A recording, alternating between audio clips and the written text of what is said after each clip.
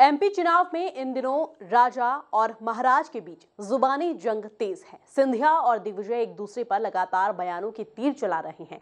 अब केंद्रीय मंत्री ज्योतिरादित्य सिंधिया ने कांग्रेस के पोस्टर पर दिग्विजय के फ़ोटो गायब होने पर चुटकी ली। देखिए रिपोर्ट। एमपी की महाभारत में बयानों का महासंग्राम। राजा और महाराज के बीच चल रहे बयानों के तीर।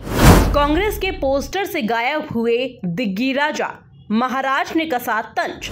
दिग्विजय और सिंधिया के बीच जुबानी जंग तेज। मध्य प्रदेश के चुनावी संग्राम में राजा और महाराज के बीच सियासी तकरार दिन ब दिन बढ़ती ही जा रही है। दिग्विजय सिंह और ज्योतिरादित्य सिंधिया अपनी हर सभा में एक दूसरे पर तीखी टिप्पणी कर रहे हैं। हाल ही में दिग्गी राजा ने सिंधिया पर चुटकी लेते हुए कहा था कि भाजपा ने महाराज को भाई साहब बना दिया है। और आज आप हालत उनकी देख रहे हो, क्या हो रहा है? वो मान सम्मान जो कांग्रेस ने दिया, राजीव जी ने दिया, इंदिरा जी ने दिया, सोनिया जी ने दिया, राहुल और प्रियंका जी ने दिया, ये भाजपा के नेता कहीं देने वाले नहीं, इतना मैं बताई देता अरे हम उनको महाराज महाराज महाराज करते थे। भाजपा ने उनको महाराज से भाई साहब बना दिया।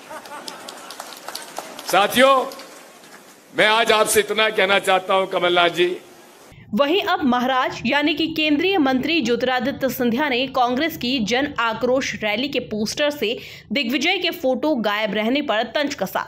सिंधिया ने कहा कि कांग्रेस के सभी नेताओं का चेहरा है लेकिन दिग्विजय सिंह का नहीं है।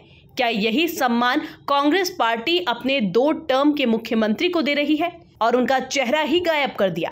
कांग्रेस का आक्रोश खुद सामने आ रहा है। कि आज मुझे आश्चर्य है और थोड़ा दुख भी है कि आदरणीय दिग्विजय सिंह जी का चेहरा कांग्रेस ने अपने पोस्टर में से हटा दिया है, जो इनकी रैली निकल रही है।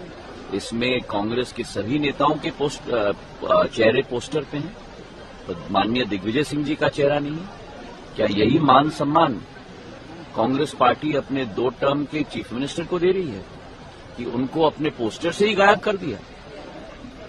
मुझे तो बड़ा आश्चर्य है, और यही कठिनाई कांग्रेस पार्टी की है। दरअसल कांग्रेस की जन आक्रोश यात्रा को लेकर प्रेस कॉन्फ्रेंस हुई, जिसमें कांग्रेस के सभी बड़े नेताओं के फ़ोटो थे।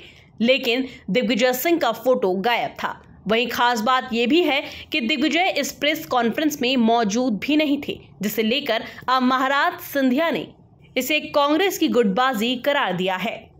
Bureau report MP news Bhopal.